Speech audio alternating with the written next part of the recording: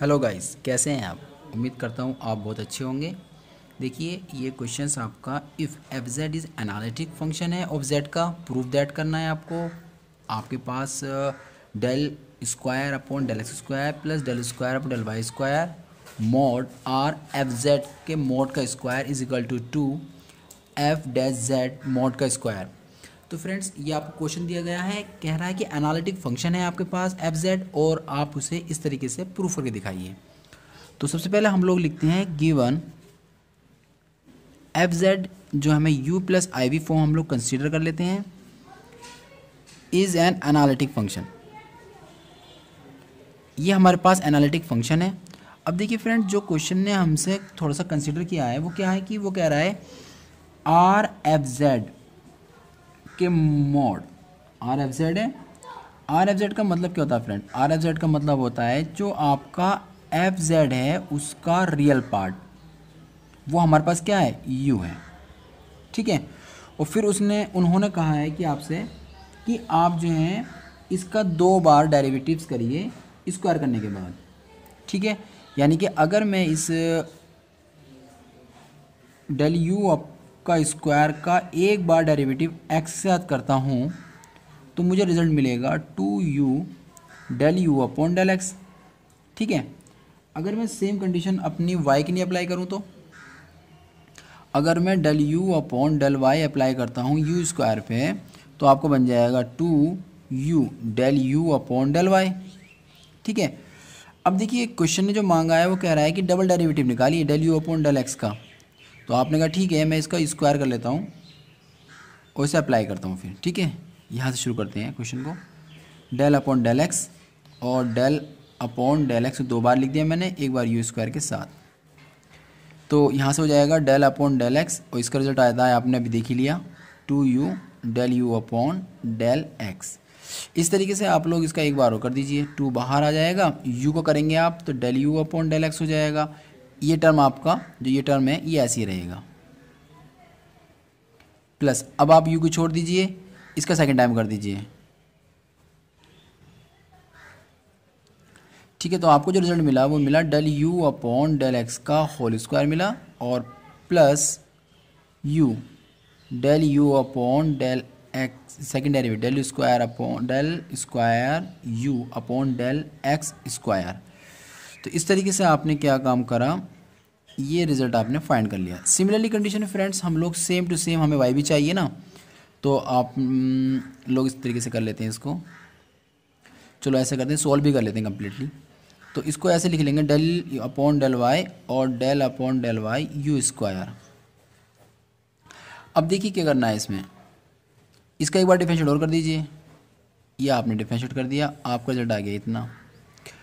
अब देखिए टू तो आप आउट कर लीजिए। ये दो फ़ंक्शन हो गए, एक ये हो गया, एक ये। जिस तरीके से यहाँ पर ये दो जगह ब्रेक हुआ है, ऐसे यहाँ पर भी होना है।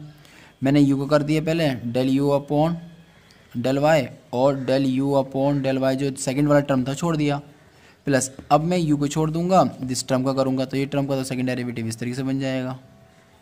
ये। नाउ अब हम क्या करते हैं टिकिंग कर लेते हैं लेफ़्ट हैंड साइड तो फ्रेंड लेफ़्ट हैंड साइड जो हमें दे रखी है, वो इस तरीके से है कि आपसे कहा गया है कि सेकंड डेरिवेटिव्स आपको निकालना है और इस तरीके से है कि आर एफ़ जेड है, उसके मोड का स्क्वायर है। ठीक है? तो आप लोग शुरू हो जाइए अपने लेफ़्ट हैंड साइड को लेकर। तो यहाँ से तो आप इसके रिज़ल्ट लिख सकते हैं ना। ये रिज़ल्ट कितना है आपका? ये यू है। यू का स्क्वायर हो जाएगा। आप इसे अंदर एंटर करा दीजिए। जैसे ही फ्रेंड्स आप लोग इसे अंदर एंटर कराएँगे तो आपको एक रिज़ल्ट मिलने वाला है, जो आपने पहले ही निकाल कर रख रखा है। देखिए, ये रिज़ल्ट आपको मिला, ये आपने पहले ही निकाल कर रख लिया है। ये रिज़ल्ट आपको मिला, ये आपने निकाल कर रख लिया है। तो इस तरीके से आपके पास रिज़ल्ट पहले से ही आ चुका है।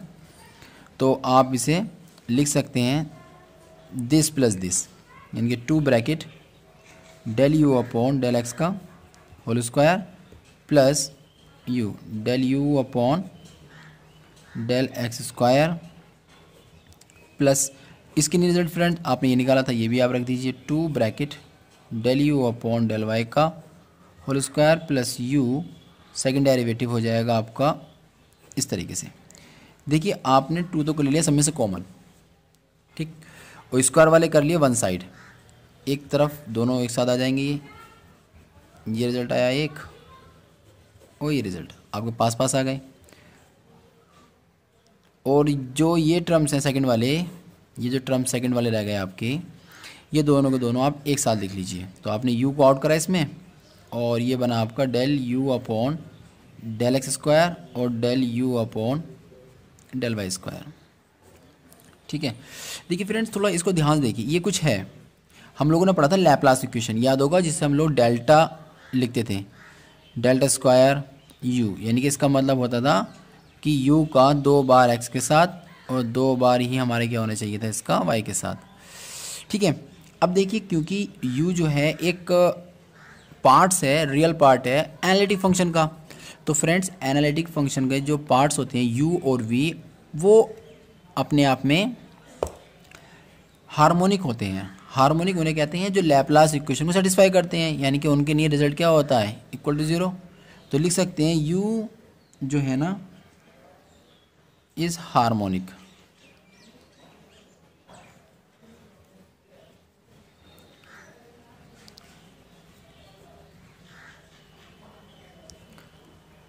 हार्मोनिक फ़ंक्शन है। इसलिए इसका जो सेकेंड डेरिवेटिव होगा, जो आपको शो हो रहा है this result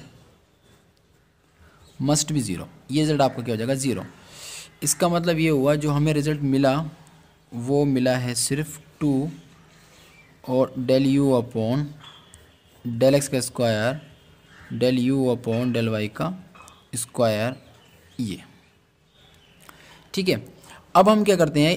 right hand side जो है क्वेश्चन की, वो लेके चलते हैं फ्रेंड्स तो राइट हैंड साइड जो है फ्रेंड्स इसके राइट हैंड साइड को देखते हैं। तो राइट हैंड साइड जब हमने देखा तो हमें मिला वहाँ पर एफ़ जेड है हमारे पास और उसका डैश हो रहा है फ्रेंड्स एफ़ जेड का डैश होने का मतलब है कि आप उसका पार्शल डिफरेंशियल कर दीजिए विथ रिस्पेक्ट टू एक्स यानी कि एफ़ जेड का पार्शल डिफरेंशियल आप कर रहे हैं. Del upon del x u plus के आई वी तो रिज़ल्ट आपका हो जाएगा friend del u upon del x plus के i del v upon del x इस तरीके से आपने इसको ब्रेक कर लिया है.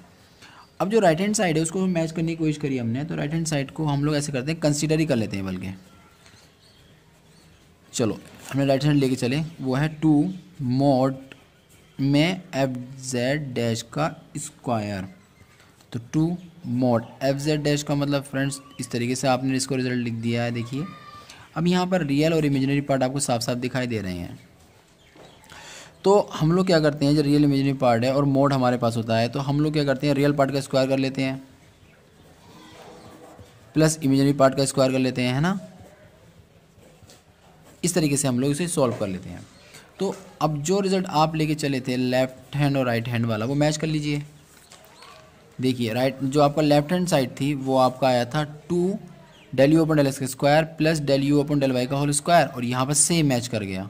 इसे क्वेश्चन फ़र्स्ट बोल दीजिए, इसे क्वेश्चन सेकंड बोल दीजिए, और लिख दीजिए। इक्वेशन फ़र्स्ट एंड सेकंड से कि जो रिज़ल्ट था आपका del u upon del x का square plus del square upon del y का स्क्वायर, और real part of f z का मोड का square is equal to twice of f z dash के मोड का स्क्वायर। ये आपका हो गया फ्रेंड्स proved